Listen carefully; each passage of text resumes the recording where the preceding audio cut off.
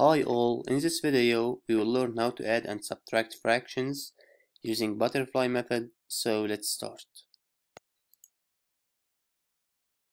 First of all, it's clear why do we call it butterfly method. It looks like a butterfly, so we have here two wings. So this method is about multiplying those two wings. So 5 times 3, 15, we'll write 15 here. And the second wing, so 4 multiplied by 4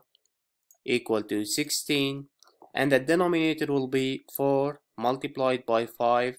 which is 20 so this fraction will be equal to 15 plus 16 divided by 20 which is 31 over 20 let's take some examples.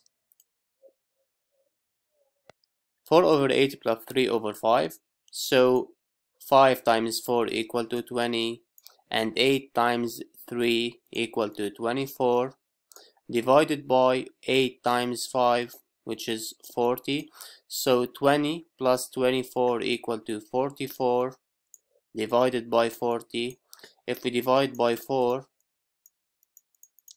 we will get 11 over 10 3 over 4 plus 3 over 8 so the first wing 8 times 3 equal to 24 and the second one 4 times 3 equal to 12 over 4 times 8 equal to 32 so 24 plus 12 equal to 36 divided by 32 simplify it so if we divide by 4 also we will get 9 over 8 4 over 7 plus 1 over 2 so the first wing 2 times 4 equal to 8 and 7 times 1 equal to 7 the denominator will be 7 times 2 equal to 14 so 8 plus 7 equal to 15 over 14 4 over 7 minus 1 over 2 so the first wing will be 2 times 4 equal to 8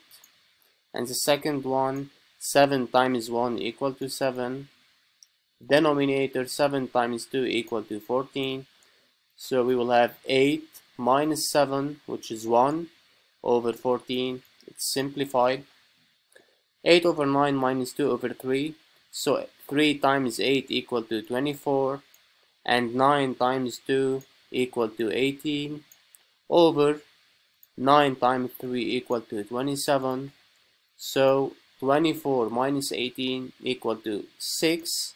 over 27 if we divide by 3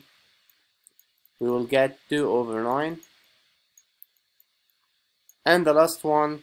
so 4 times 7 equal to 28 and 8 times 2 equal to 16 divided by 8 times 4 equal to 32 so 28 minus 16 equal to 12 over 32 if we divide by 4 we will get 3 over 8 and it's done.